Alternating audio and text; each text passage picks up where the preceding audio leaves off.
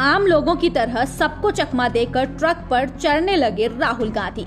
Video देख पूरी दुनिया हुई हैरान। कांग्रेस पार्टी के पूर्व अध्यक्ष राहुल गांधी ने ट्रक से की गई अपनी यात्रा का एक वीडियो 29 मई को सोशल मीडिया प्लेटफॉर्म पर साझा किया है। राहुल ने ट्रक में सवार होने के बाद ड्राइवरों और कंडक्टरों से बातचीत कर उनके जीवन को करीब से जाना। हालाँकि राहुल और उनके बीच दर्जनों सवाल हुए। लेकिन एक सवाल ऐसा आया जिसने राहुल को ट्रक से बाहर देखने को मजबूर कर दिया। कुछ क्षण चुप रहे, फिर सोचकर बोले, बहुत मुश्किल जॉब है।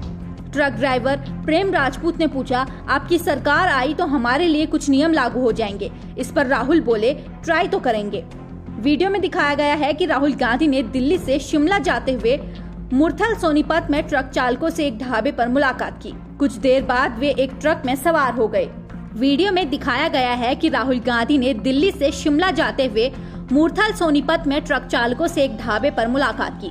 कुछ देर बाद वे एक ट्रक में सवार हो गए। राहुल ने ट्रक ड्राइवर से पूछा, आपकी जॉब में क्या पैसा बढ़ता है? आखिरी बार कब बढ़ा था?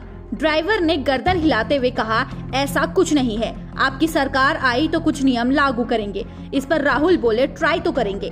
इसके बाद राहुल ने पूछा, दिवाली के आसपास के महीनों पैसे का कुछ फ़र्क पड़ता है क्या?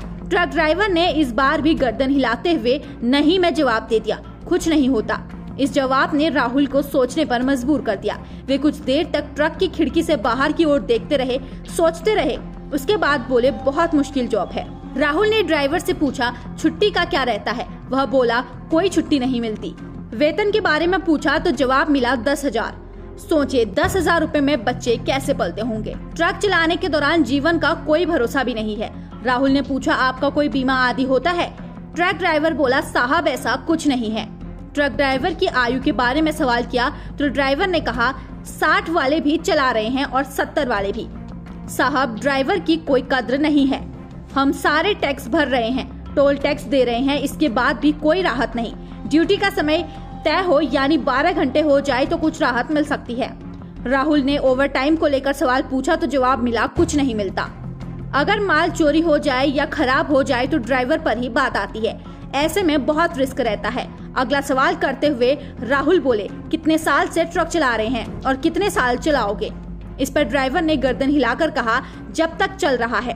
बच्चे जब तक न पढ़ लिख जाएँ, इसमें कौन सा इंजन है? साहब दो आठ एक आठ लीलैंड है। आपके बच्चे अंग्रेज़ी पढ़ रहे हैं। इस पर ट्रक ड्राइवर बोला पढ़ तो रहे हैं। उन्हें क्या बनाओगे? वह बोला नौकरी चाहते हैं। सरकारी नौकरी मिल जाए तो।